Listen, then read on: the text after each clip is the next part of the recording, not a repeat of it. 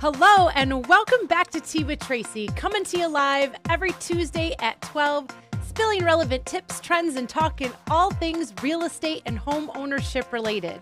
Today, we're going to be continuing on with our community services series. We're going to be talking about a little gem in Lake Orion you may or may not know about the Orion Art Center.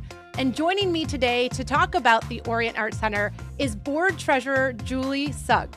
Without further ado, let's get Julie on to join us. Hi, Julie. Hi, how are you? I'm great. How are you doing? good. Good. It's so nice to have you join us today. Thank you so much. Thank you for having me. Oh, absolutely. Um, as I, I mentioned, we've been doing this community services series and just talking about some of the different um, offerings that there are in Lake Orion. And the Art Center is one of those hidden gems that I think some people definitely know about, but others, this could be like a new, you know, new things for them to learn today. So, Yes, we do seem to be tucked um, down by the, the Paint Creek there, and some people still don't know that we're there. So, yes, thank you for having us. This is great exposure for us. yeah, absolutely. I'm hoping uh, after today, more people will know about the Art Center, how long it's been around, and what um, what offerings there are. So, Yeah, um, so the Art Center has been around since 1979 when a group of local artists decided to get together and create a cultural center. Um, and then they received the the house that we're in right there on at the end of Anderson at the creek. Um, We've got the parsonage from the um, Lake Orion United Methodist Church. Okay. Um, and then the village donated the little plot of land. Um, and then in 1981, the Orion Art Center officially opened its its doors for art classes and experiences. That's fantastic. So what's that's 40 about 40 years now you're celebrating. yeah. Wow, that's Yeah. okay. It doesn't seem like it should be 40 40 years from 81, but and so that that building, that original building which is still there and still being used is down at the end of Anderson Street in downtown Lake Orion, right next to the Paint Creek Trail and there's the bridge and actually the um the Paint Creek and then the Paint Creek Trail goes right past it. So That's over the correct, bridge. Yeah, we're at the trailhead actually. Yes, so you uh, lots of people pass by it Yep. um, every day. The there's a lot of traffic on the trail, and we're really excited to be there.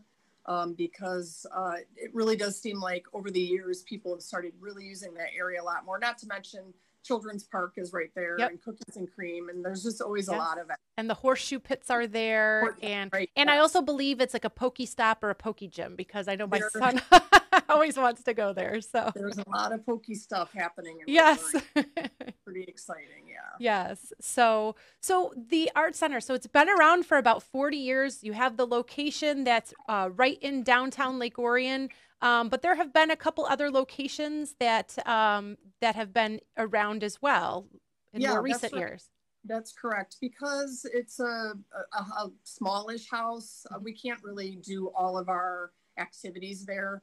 We have a full service pottery studio at the Moose Tree Preserve, which is right next to Webber Elementary School. Yep. Currently, we're not able to access that um, location because the district is remodeling Webber. Um, so in the meantime, we are at our pop-up location, which is right on Broadway next to Bitter Tom's, and we've been Okay. doing uh, all of lots of really fun summer activities and arts and crafts right there on Broadway. So Great. right now we are juggling a few locations. We had some structural issues at the Anderson building, which we have now fixed. nice Um, so we are excited just to be everywhere. You can find Yes. us almost anywhere. Yes, wherever uh, wherever you are, there they are. there the Yeah. art center is. Course- Yes. And So- of course, we have a website that people can visit, which Okay. is orionartcenter.org, and that explains where we're at and what we're doing. Okay. And and there's there's so there's classes, right? There's yeah, let so us we know what yeah, what is the art center doing currently? Right. So we do have a wonderful full service pottery studio where you can learn hand building and wheel throwing classes. We have kilns. That's at the Moose Tree Preserve location, which will open again when school starts. Okay. Um, we also do just lots of um, arts and crafts as well as fine art instruction. We have private art parties. We have um, Uh, we'll have art exhibitions again uh, at the Anderson location. We have a holiday market where you can purchase all your gifts, yes. handmade arts and crafts gifts. Usually that's during, you know, Thanksgiving, Christmas season. Yes. Um, I... So there's that. I'm sure I'm missing oh. um, some things, but yeah, I mean, we try to do it all and cover uh, a lot of bases during um, COVID. We do art art kits. So if you yep. don't feel comfortable coming down and sitting with us and having a class, which of course we understand, you can just come by and scoop up an art kit that has all the instructions and supplies so you can take it home and enjoy that with yourself or your children or however whatever. We're, yeah. we're, just trying to cover all the bases. That's great. So if you just want some extracurricular, or maybe if you have kids that you're homeschooling and you want to do like an art project, art class, you could do the the pickup kits. And I know you had mentioned the private art classes. So if somebody wanted to throw a birthday party or retirement party or any type of occasion, just get together with your your friends. Um, it sounds like that's something that yeah, is available we, as well. Yes, we want we want to be really flexible and meet everybody's needs. We did have um, summer camp art summer camps for kids over the summer, which was great. We've done you, you name it. Our staff is willing to work with anybody just to, yeah. to get that to happen. Well, I know I was really excited to learn about the full service pottery studio and that you do offer beginner classes because I've never done anything and that's on my list. Um, I don't know if you want to call it a bucket list because it's not, you know, it's it's more of a short term like here's here are some fun things that I want to try list. So um, I yes, know absolutely. We do have some experienced instructors and that's their passion and they really do want to welcome anybody in the community at any level to come in and learn how to do that. They will support you in all your needs as far as just enjoying the medium. It's mm-hmm. so fun and enriching. So we're here again, we're here to help. We want we want to see you get involved and have fun. Yes. And so whether you're a beginner or you mentioned as well, there's like a dragon pass or something that if you this is what you do or you have a real passion for it um, and you want to do you know go regularly you can do that as well yes we do have what's called a dragon fired membership so for okay. those folks who really just uh, enjoy it but maybe work full time or don't can't get away at your traditional hours when we're open. Um, we have opened the studio up at any time and for a membership fee you can come and work um, whatever's most convenient for you um, at whatever level you're at. Um, and it's just again we're just trying to be really flexible to work. You know we we, we understand people just have a, an array of needs and hours to which they can dedicate to it and we just try to make it easy sure. Well and you know there's so many studies that show that art you know and just being creative it can reduce stress and anxiety and tension. Um, some people like you just you know that's just a part of who you are having like that creative side and needing an outlet for it. So i think it's wonderful that we have this right in our community um, you know for whatever your artistic desires or skill level may be i agree completely yeah. yes i myself try to do at least 15 minutes of art or creating every day it is so beneficial um, in many areas. And a lot of people think, oh, I can't draw a stick figure. Oh, it's really not about that. It's about just learning the mediums, whether it be paint or drawing or clay, and just kind of letting letting go and not yeah. having expectations. It's so fun and very liberating. And so we just recommend everybody just try it, and yeah. uh, maybe it'll you know maybe it's your jam. Yeah, absolutely. Well, I know I'm going to be trying some things this fall, so I'm looking forward to it. And another thing that I'm looking forward to, one of my favorite weekends of the year is coming up next weekend, right? August 26th through the 29th. Uh, Dragon on the Lake. So tell us a little bit about that.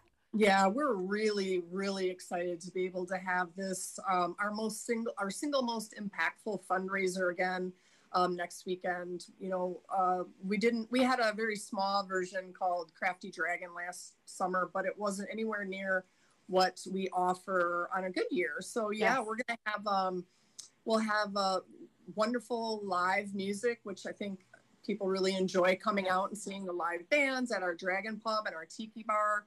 Um, of course, we're going to have the dragon boats, which is really exciting. That's yes. a very unique experience. Yes. If you um, haven't checked out the dragon boat races, um, whether as a viewer or participating, I've done both, and it is so much fun. Um, the energy, the excitement, like just being on the water. Um, the dragon boat races are they're fantastic. So It I'm is. excited It's- that they're back yeah. again this year.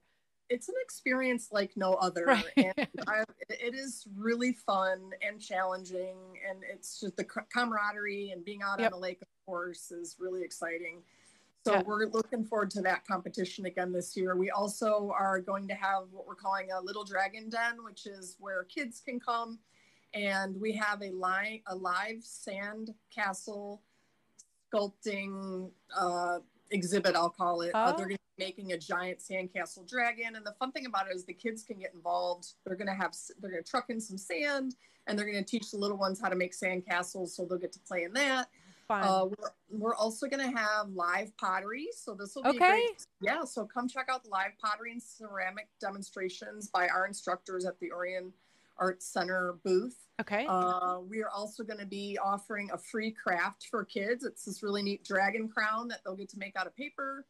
Um, of course, fabulous vendors, uh, arts and crafts, and just local uh, vendors will be there for that. And then we're having our, I believe it's the 12th annual Chalk Art Challenge, where you can come Yes. down and draw or whatever, create whatever you want to create in a parking space. Um, and there'll be some cash prizes for that. Individuals and teams of all ages can Okay. enjoy that. All that information is on the Dragon on the Lake website. okay. um, But so we're That we're that is really excited. cool. The the chalk art when you're walking down and you see like some of those creations, uh it's they're awesome. So It's really fun, and we Mhm. have um we have a really neat group of young artists that come. I've seen them probably the past two or three years come out and, and hone their skills and Yes. get better every year. And families can do it can participate as a team. Yep. Um, and that's really fun too to see that family uh, building skills. Um, it's just a really fun event for everybody, and you don't have to be an artist to do that. Right. Um, yeah. So all that information is on the Dragon on the Lake website, and we're really excited and hope the community comes out and supports us. I think, as I mentioned, this is our single most impactful fundraiser. This is what drives the OAC's mission uh, and helps us really get creative experiences to the community. Yes. Well, and it's such a fun event. It brings so much energy and excitement to the downtown, to the lake.